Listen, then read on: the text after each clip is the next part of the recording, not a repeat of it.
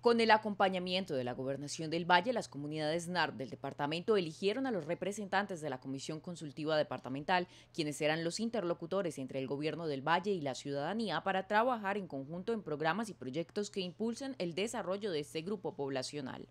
Una evaluación exhaustiva de los requisitos, una evaluación directa de cada uno de esos elementos que permitían que las organizaciones de base, los consejos comunitarios y las expresiones organizativas de este departamento tuvieran esa oportunidad de elegir sus representantes en la Comisión Consultiva Departamental que integran 30 miembros de estas organizaciones.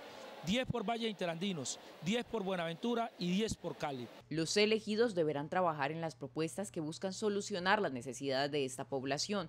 De los 30 representantes elegidos, 5 estarán como consultivos de alto nivel ante el gobierno nacional. Y en el marco del respeto pudimos hacer una elección con la mayor altura. Y esperamos que los demás departamentos, que los señores gobernadores y gobernadores y gobernadoras no han querido colocar lo relacionado con la fecha, cojan ejemplo del Valle porque el Valle siempre ha dado ejemplo y da resultados. Las listas de participación para las consultivas estuvieron a cargo del Ministerio del Interior y la Agencia Nacional de Tierras.